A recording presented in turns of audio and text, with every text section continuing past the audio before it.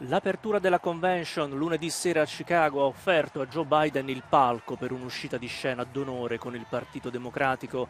Lunghi applausi, cori di ringraziamento, occhi lucidi da parte del presidente che ha difeso i suoi ultimi quattro anni alla Casa Bianca, tra l'altro per gli ottimi rapporti transatlantici. When Trump left office, Europe and NATO was in tatters. Not a joke. America First doctrine changed our whole image in the world. Well, I spent, they gave the hours, about 190 hours, sum total, with my counterparts or heads of state in Europe to strengthen NATO. We did. We united Europe like it hadn't been united for years.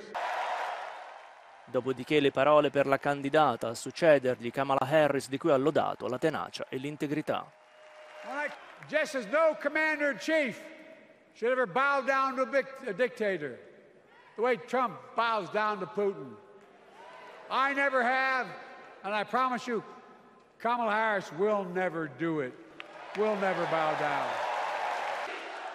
Harris come vice nel 2020 ha detto Biden è stata la migliore scelta della mia carriera, una carriera che a 81 anni dopo 52 in politica finirà probabilmente tra pochi mesi. Ho dato il meglio di me, ha detto commosso sul palco il presidente USA.